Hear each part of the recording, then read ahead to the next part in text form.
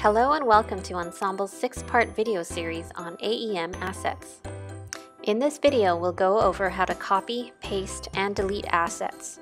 Let's get started. First, make sure you have your local server running and AEM open in your browser. We're going to be copying this retail client app into our projects folder. First, select the folder using the checkmark icon. Select Copy in the bar at the top. Now let's go into the Projects folder